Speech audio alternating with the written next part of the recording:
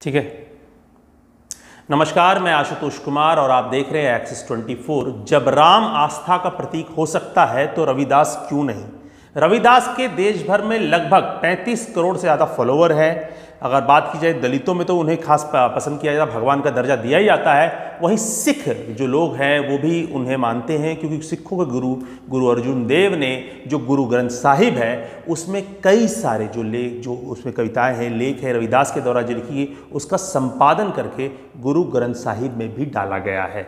तो काफ़ी इंपॉर्टेंट है और सबसे बड़ी बात है कि रविदास के जो मंदिर हैं, पूरे देश भर में केवल दस ही हैं, और ये मंदिर काफ़ी इंपॉर्टेंट इस मंदिर का अपनी आस्था है कि पंद्रहवीं शताब्दी में ऐसा माना जाता है, जो जो समर्थक है, जो उनको पूछते हैं, वो मानते हैं कि संत रविदास जब बनारस से पंजाब की तरफ़ जा रहे थे, तब वो यहाँ रुके थे। यहाँ पर वो उन्होंने विश्राम किया था। और भी बातें हैं, जब पंद्रहवीं शताब्दी की बात की जाए, तब कि 1509 में जब संत रविदास बनारस से पंजाब की तरफ़ जा रहे थे तो वहाँ आकर वो उन्होंने यहाँ विश्राम की और उसके बाद सिकंदर लोधी जो उस वक्त जिनका शासन यहाँ चल रहा था उस वक्त माना जा रहा है कैसे उन्होंने रविदास से दीक्षा ली और उसके उनकी बातों से वो काफ़ी प्रभावित हुए। बारह बिग्घा ज़मीन दान की और उस पर फिर वहाँ पर पूजा जाने लगा। एक कमेटी बन गई धीरे धीरे कई सेंचुरीज लगी और फिर एक बार जो है एक, एक मंदिर बन पाया वहाँ पर। आपको बता दें ऐसा माना जाता है वहाँ जो मंदिर है वो आपको 19वीं शताब्दी मतलब जो आपको हमने हमारे देश की आज़ादी उससे भी कई दशकों पहले का आपको वहाँ पर मंदिर था।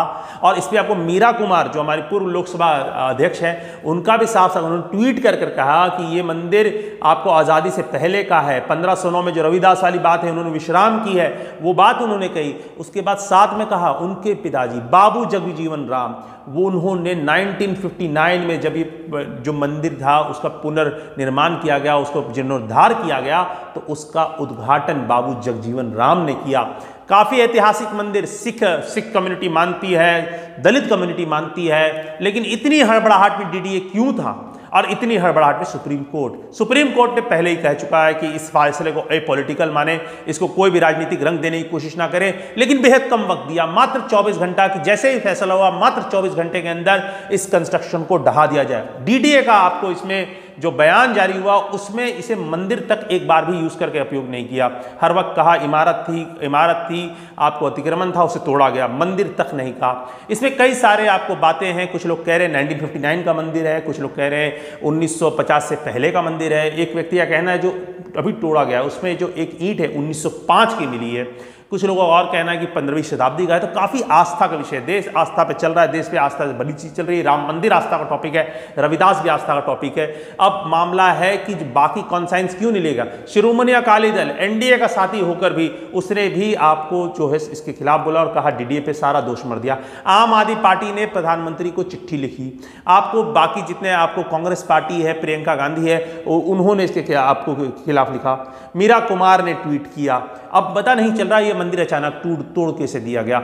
जब इतने लोग, जब इतनी पार्टी इसके विरोध में थी तो उस वक्त जब मंदिर तोड़ने से पहले वो पहले क्यों नहीं खड़े हुए? क्यों नहीं एक पॉलिटिकल इसमें समझ बनाई गई? ये बड़ा सवाल है। आप जान रहे हैं, तेरह तारीख को पंजाब बन रहा कल से बहुत सारे दलित आपको दिल्ली में पहुँचे, सड़कों को जाम किया। अभी भीम आर्मी के चीफ रावण जो है चंद्रशेखर आज़ाद, उनको पुलिस ने गिरफ़्तार कर चुकी है। अब धीरे धीरे ये मूवमेंट बढ़ रहा है। अब मामला, आस्था और राजनीति दोनों का है।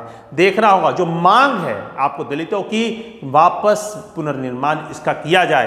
क्योंकि बहुत लोग कहते हैं, जो उनके भक्त कहते हैं कि इसके पास सबूत है रेवेन्यू दिया जाता था, पर्चियाँ कटती थी ज़मीन पर। अब मंदिर था आपको कई कमरे थे उसमें उसमें तोड़ दिया गया।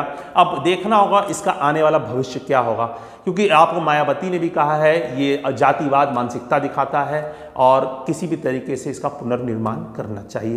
तो हम भी इस पर नज़र बनाए रखेंगे। लगातार इस तरह के वीडियोज़ को देखने के लिए हमारे चैनल एक्सेस 24 को सब्सक्राइब कर लें।